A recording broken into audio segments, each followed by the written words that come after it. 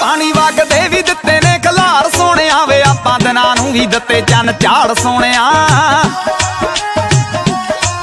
ਚੱਕ ਕਰੀ ਇਤਿਹਾਸ, ਕਿੰਨੇ ਯਾਰ ਬੰਦੇ ਖਾਸ, ਕਿੰਨੇ ਪੁੰਨ, ਕਿੰਨੇ ਪਾਪ ਬੋਲਦੇ।